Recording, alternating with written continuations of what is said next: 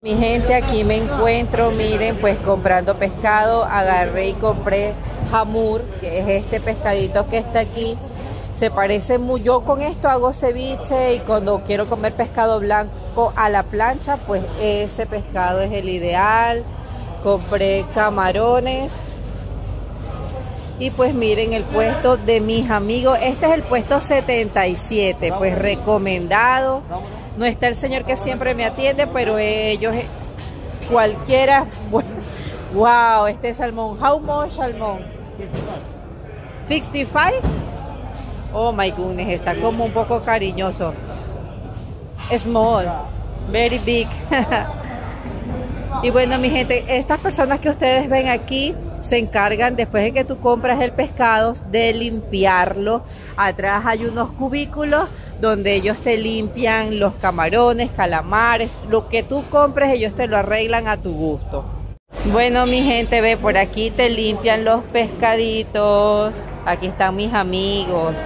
Mírenlo bien, generalmente yo limpio mis pescados con este señor o él también, que hoy es el que me está limpiando los, lo que compré. Ese es el jamur que se lo pedí en filé.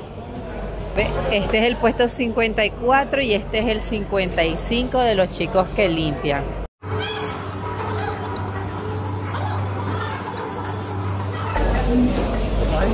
Sí, slices, Una cosa que deben saber es que ellos a mí, por ejemplo, nunca me han cobrado un monto. Yo a ellos les pago por su trabajo 30 dirham, 25 y bueno, me va muy bien.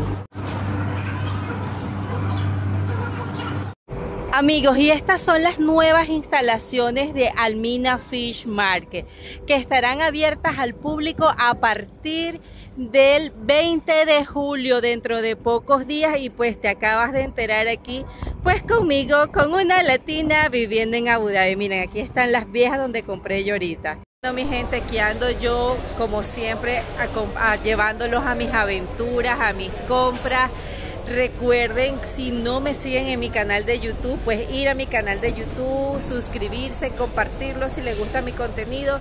Les mando un abrazo grande de esta latina viviendo en Abu Dhabi.